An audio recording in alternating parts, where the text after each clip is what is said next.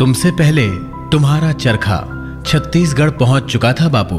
तुम्हारे कंडेल आने की खबर ने ही किसानों को जीत दिला दी। दुर्ग में रखा तुम्हारा वो चरखा आज सिर्फ़ सूत ही नहीं, स्वप्न भी बुनता है। जनमानस के सामूहिक विकास का।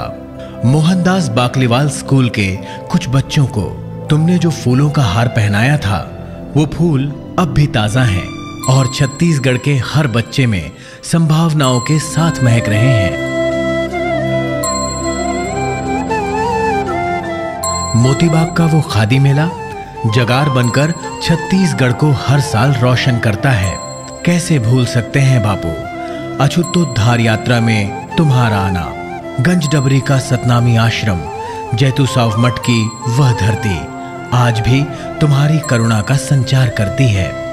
छत्तीसगढ़ कब नहीं था धन्य? तुम्हारे आने से। मौदहापारा के सफ़ाई कर्मचारी हों, राजकुमार कॉलेज के विद्यार्थी, या तुमको देखकर खुद में ताकत महसूस करती घरेलू महिलाएँ। बापू तो तुम सभी के थे। राजिम, धमतरी और बिलासपुर की सड़कें भले ही नई हों, पर उन पगडंडियों पर तुम्हारे पद चिन्हों को कौन भूल सकता है? बैतलपुर के जिस कुष्ठ आश्रम में तुम मरीजों से मिले वो अब कुष्ठ अस्पताल है। और हाँ छत्तीसगढ़ में कुष्ठ अब लाइलाज नहीं। बापू चुनौतियों के कई दौर आए और आएँगे, पर सत्य, समरसता और सांप्रदायिक सद्भाव के लिए तेरी मशाल की रोशनी के सहारे हम आगे बढ़ते जाएँगे।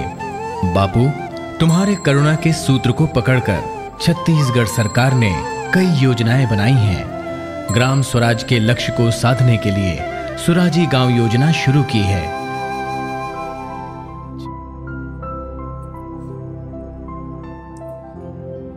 राष्ट्रपिता महात्मा गांधी को याद करने, नमन करने, श्रद्धा सुमन अर्पित करने से हमारा काम खत्म नहीं होता, बल्कि यहाँ से हमारा काम शुरू होता है। मुख्यमंत्री सुपोषण योजना और सार्वभौम पीडीएस से हमने तय किया है, न तो कोई भूखे पेट सोने को मजबूर हो और न ही पोषण युक्त आहार से वंचित रह जाए। हमने कुपोषण के खिलाफ निर्णायक जंग का ऐलान किया है, जो गांधीवादी सत्याग्रह राह पर चलेगी सबको अच्छी सेहत के लिए बापू ने बहुत प्रयोग किए थे। इसलिए सार्वभौम स्वास्थ्य सेवा हमारी प्राथमिकता है। मुख्यमंत्री हाट बाज़ार, क्लिनिक योजना, मुख्यमंत्री शहरी स्लम स्वास्थ्य योजना के माध्यम से हम अंतिम व्यक्ति तक पहुँचेंगे। बापू की करुणा को हमने सरकार का मूल मंत्र बनाया है। आइए, हम सब मिलकर उनकी करुणा का संचार करें। बापू के सपनों का नवा छत्तीसगढ़ गढ़ें।